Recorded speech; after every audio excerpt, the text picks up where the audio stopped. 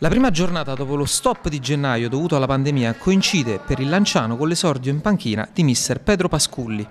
Il dopo Bellè parte dunque dal Biondi in uno scontro diretto per le posizioni playoff tra i Frentani e la Torrese di Remigio Cristofari. Gli ospiti chiariscono sin da subito la loro intenzione di sorprendere i rossoneri e vanno a qualche centimetro dal bersaglio grosso con la conclusione di poco fuori di Gentile già al secondo minuto.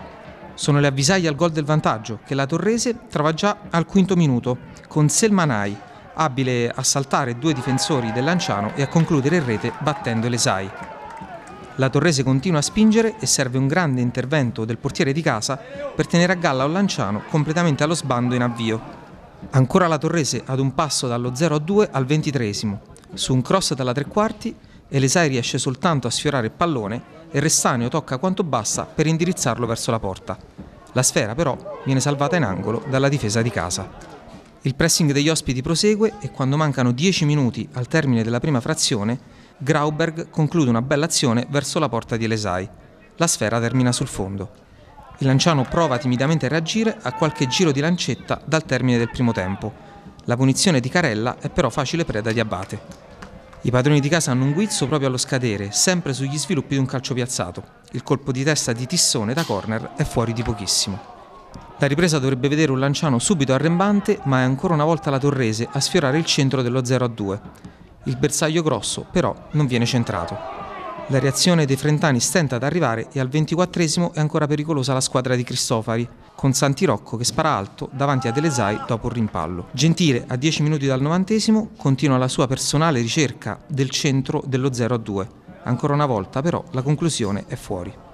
La reazione del Lanciano stenta anche durante i 5 minuti di recupero concessi dal signor Esposito di Pescara e dal triplice fischio finale lo 0-1 del Biondi passa alla storia, così come la prima amarezza di mister Pasculli sulla panchina frentana.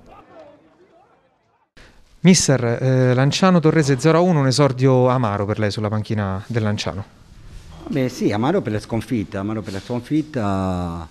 Eh, dopo tanto tempo di stare fermi, eh, diciamo che è normale che ti fa male perdere, perdere, una partita così, con un, un, solo tiro in porta, una sola azione che magari può essere anche eh, rimediata da parte nostra, perché magari siamo arrivati un po' in ritardo alla, alla chiusura, però fa parte del calcio comunque il campionato è lungo e dopo la ripresa de, del campionato, di stare così tanto fermo, tanti, tanto tempo fermo, non era facile ripartire. Sono arrivato venerdì, ho fatto venerdì allenamento, sabato e siamo andati a giocare.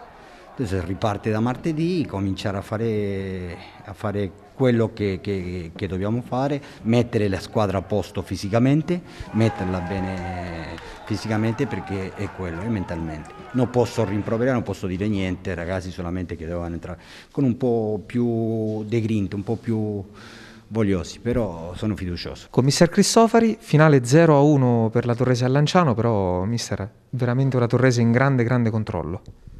Sì, è stata una partita quasi perfetta, l'unico rammarico è stato quello di, di, non averla chiusa prima. Abbiamo trovato il gol del vantaggio nei primi dieci minuti di gioco, poi siamo stati in controllo, abbiamo avuto altro paio di occasioni per poter fare il secondo gol, non abbiamo praticamente eh, rischiato nulla, solo su un calcio d'angolo che abbiamo regalato, però insomma il secondo tempo siamo rientrati con grandissima personalità eh, in gestione della partita, loro hanno avuto un pochino più il predominio del gioco, ma noi abbiamo fatto delle ripartenze importanti.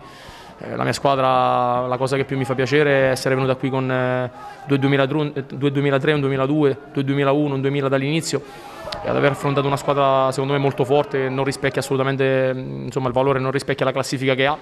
Aver fatto un secondo tempo veramente incommiabile da parte di tutti, anche di chi è subentrato, voglio citarli, avevamo assenze importanti, mancava Di Lallo, mancava Sasà, Festa, insomma nonostante le assenze questo è un gruppo che chiunque gioca da, dal suo contributo lo fa alla grande e oggi ci siamo, insomma, ci siamo ripresi un po' dalla, dalla, delusione e dal rammarico che abbiamo maturato domenica scorsa uscendo dalla, dalla, semifinale di Coppa Italia. Quindi sono veramente molto soddisfatto e contento di questo gruppo. Eh, i ragazzi sanno che dobbiamo continuare a lavorare il primo maggio tireremo le somme ma insomma eh, la strada è quella giusta